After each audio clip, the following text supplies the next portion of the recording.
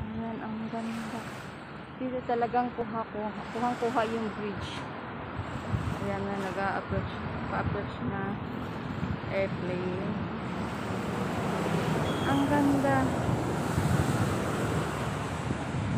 Ang linaw ng ano, dagat.